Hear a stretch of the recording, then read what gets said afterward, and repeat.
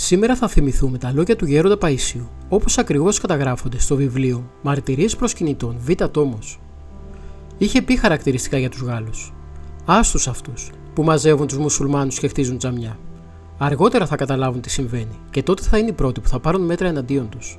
Θα δείτε τι θα κάνουν. Το μαγελιό που είχε συμβεί στη Γαλλία το είχε δει ότι θα έρθει 30 χρόνια πριν ο Άγιος Παΐσιος.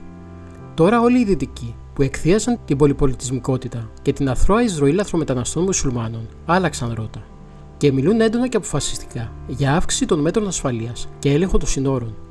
Πράγματα αυτονόητα που όποιος τα ανέφερε πριν χαρακτηρίζονταν αυτομάτως ως ρατσιστής.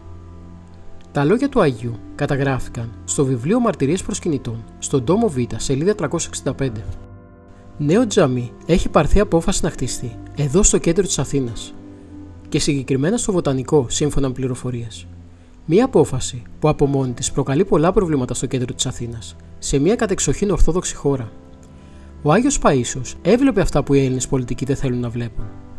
Ο Γάλλος πρόεδρος Σολάντ είχε πει πρόσφατα στο διάγγελμά του προς το γαλλικό λαό. Πρόκειται για μια πρωτοφανή τρομοκρατική επίθεση κατά του Παρισιού. Θα χρησιμοποιήσουμε όλες τις δυνάμεις μας για να εξουδετερώσουμε τους τρομοκράτες. Θα διασφαλίσουμε να μην ξαναγίνει τέτοια τρομακτική επίθεση. Η πιο σημαντική απόφαση που χρειάστηκε να πάρω ήταν να κλείσω τα σύνορα.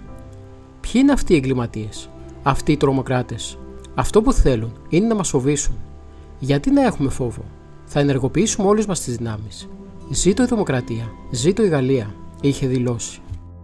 Επίσης, βλέπετε καθημερινά και εδώ στην Ελλάδα το πρόβλημα που υπάρχει με τους μουσουλμάνους.